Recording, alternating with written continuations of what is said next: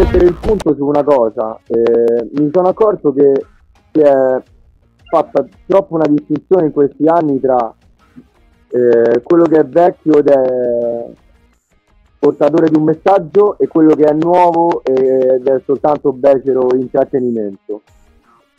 E io invece voglio buttare giù un po' questa barriera e voglio dimostrare che si può fare arte e musica contemporanea continuando comunque a mandare un messaggio. Non ci sto a fare una cosa che manda un messaggio però suona vecchia e quindi non riesce a parlare alle nuove generazioni, non ci avrebbe proprio senso. Quindi l'intenzione del sound era un po' questa, sicuramente ispirarsi a delle cose old school, però ci tengo a dire che non è un pezzo old school, è un pezzo che si ispira allo school ma risulta poi freschissimo. Guarda, la riflessione, la riflessione è nata più che altro dal fatto che hanno provato in tutti i modi a sottolineare quanto questa pandemia fosse democratica e che ci mettesse tutti sullo stesso piano. E ovviamente non è così, no?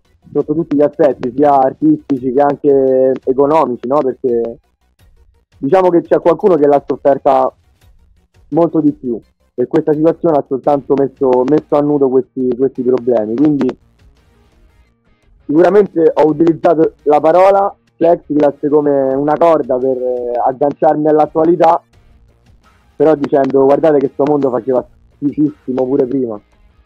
Sì, ma penso che c'è sempre stata. Sicuramente ci sono stati dei momenti in cui magari la situazione culturale era un po' più elevata e quindi permetteva che la musica no? gli andasse appresso. Però secondo me in tutte le epoche c'è stato qualcuno che dorme e qualcuno che è sveglio, sempre. E io voglio stare tra quelli che stanno svegli. Certo, perché io invece ultimamente ho un po' la tista dell'identità musicale e ho sempre paura che questo mio spaziale poi alla fine mi, mi remerà contro. Perché non lo so, spesso si sente un po'... Eh, capita spesso che un artista si afferma tramite una forte identità di sound musicale, quindi ho paura che quando spazio troppo prendo il largo, però non ci posso fare niente, a me mi piacciono tante cose e quindi le discuto tutte.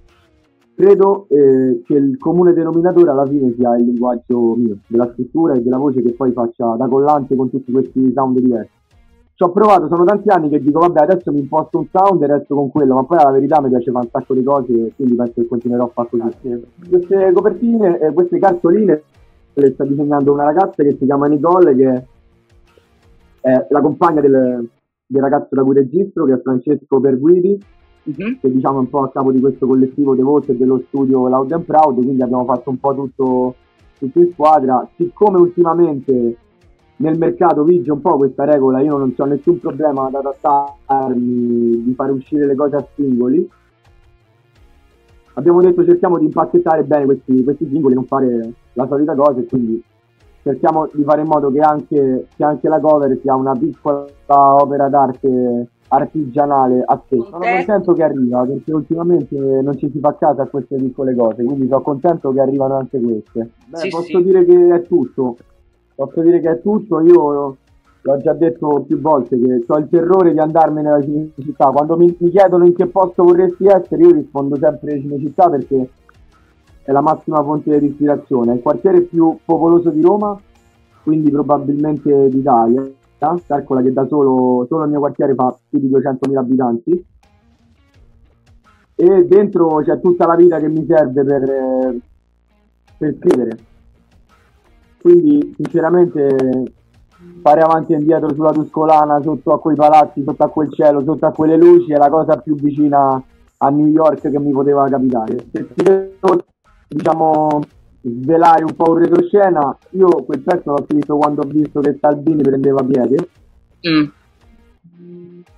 E mi sono proprio boh, indignato, non si poteva vedere questa cosa che prendeva tutti quei voti al sud e il dirigente invece di stare un pezzo pesante la solita cosa che potresti scrivere contro Salvini, ho fatto il contrario, ho scritto un inno gioioso a quel luogo.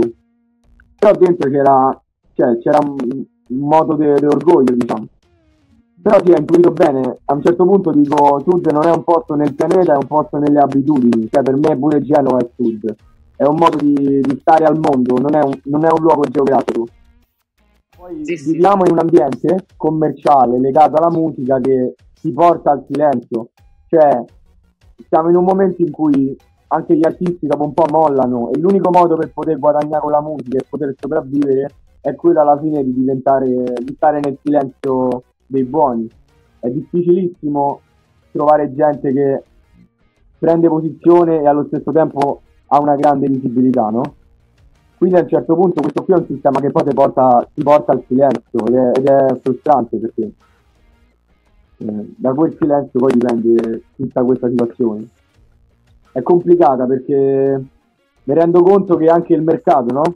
Sì. Eh, non, non, ti dà molto spazio per, per parlare. Sicuramente il rap è riuscito a entrare nel grande mercato, anzi al contrario, oggi il pop non può più fare a meno del, del rap, di un featuring oppure di, di approcciarsi alla canzone più o meno con uno stile che rimanda al rap, perché ormai il vero pop è il rap.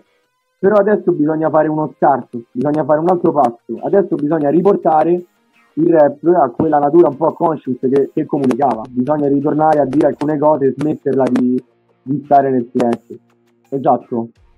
Secondo me qui i problemi sono due. Mm. Il primo è che c'è proprio quel meccanismo di finzione per cui, non lo so, un ragazzino bianco benestante a un certo punto si veste e si atteggia come un nero povero americano. Quindi a un certo punto lì c'è proprio un, c'è proprio un problema forte di identità chiaro, insomma, cioè, penso che c'è proprio un problema psicologico forte perché di apparire come non si è invece di apprezzarsi, cioè lì questa non è musica, questo è un problema di psicologia secondo me. Il problema però che anche chi invece vive in delle condizioni, se vogliamo, più credibili, ecco, riguardo, riguardo la strada, riguardo certi ambienti di periferia come i nostri, che però non riescono mai a far vedere l'altra faccia delle periferie, fanno sempre vedere quella legata all'estetica del, dell'ostentare la ricchezza, eh, appena faccio 5.000 euro invece di tenermeli invece compro un orologio e invece faccio la foto per, per metterla sui social anche questo qui è un problema cioè non basta soltanto essere credibili essere di strada ma essere brillanti e mostrare anche l'altra faccia della periferia non farci etichettare e dimostrare che anche noi che viviamo in certi quartieri possiamo essere portatori di cultura e di bellezza e non dei soliti cliché. No, non sono contento eh, della situazione in cui mi trovo. Sono contento di quello che faccio, però sono affamato e per essere soddisfatto ho bisogno di più spazio e ho bisogno di dire le cose che voglio dire a più persone e di giocarmi un'altra battaglia. Se devo essere sincero, mi sento un po' dentro un acquario, vorrei giocarmi una partita più grande, non farò delle cose. Ogni volta si aprono sempre più spazi, anche per esigenze come la mia. Da una parte si aprono sempre più possibilità, dall'altra diciamo che c'è sempre un sistema che comanda imperante, no? che è quello del linguaggio, della tv, delle interviste stupide, eh, de, non so, dei, dei talent, dei reality. Quindi mentre si aprono degli spazi, allo stesso tempo c'è sempre quel mondo che prima che lo butti giù ci vorranno secoli. Quindi un po' e un po'. Non sono né pessimista né ottimista. La situazione è questa, però se gli diamo belle capocciate, prima o poi questo muro viene giù.